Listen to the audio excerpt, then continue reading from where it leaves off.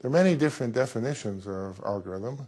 The Turing machine is a very uh, popular one where you think of a very primitive kind of machine uh, working on a uh, infinite tape, uh, reading, writing, moving around slowly, square by square on it. So what is a Turing machine?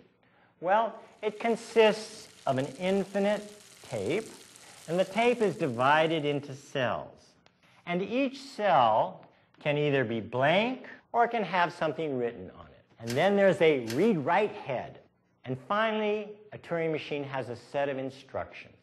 Instructions for what the read-write head is supposed to do. It can print a 1, it can erase the contents of the tape, and it can move left or right. Let me just illustrate it with a Turing machine for adding two numbers. I'm going to input 3, and I'm going to input 4, and at the end of all this, there should be a 7 on the tape.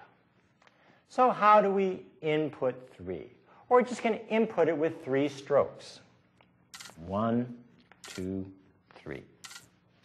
And then we're going to leave a blank in between, and we're going to input 4. The tape head starts in this position, and the first thing it does is it moves right, reads what's on the tape, and it sees a 1. So the next instruction says, keep moving right until you get to a blank space. So it goes right, not blank, right, not blank, ah, blank. And now the next instruction says, move right again until you get to the next blank space. So is that blank? No. Is that blank? No. Is that blank? No. Is that blank? No. Is that blank? Yes. And then the next instruction is write one. Move left to the first blank space. Left, left, left, left, blank. Move left again to the next blank space. Left, left, left, left, blank. Move right and erase. And now we, we repeat that whole procedure. Move right one space. Is there a 1 there? Yes. If so, move right to the first blank space, move right to the second blank space, and copy that 1. Back to the first blank space, back to the second blank space, and stops.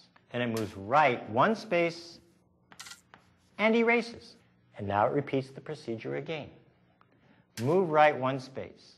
Is there a 1 there? If so, move to the first blank space, move across that to the second blank space, and copy that 1. Then move back to the first blank space, move back to the second blank space, go right 1, and erase. And now we repeat that procedure again. Move right one space. Is there a 1 in that space? Oh no, there's no 1 in that space. Then you're done. Stop. And the result is 1, 2, 3, 4, 5, 6, 7. The number 7 is written on our tape. And the instructions are just that simple. Go left or go right or keep scanning the same square, leave what's on the square alone, or replace it by such and such. Nothing more than that. And Turing argued that uh, the kind of capabilities that even such a primitive machine would have encompass anything that you could call to be calculable uh, because he showed that you can encode in the patterns on the tape uh, many uh, conditions and by searching those patterns and rewriting them you can simulate any kind of computation that you can do in a more complicated way.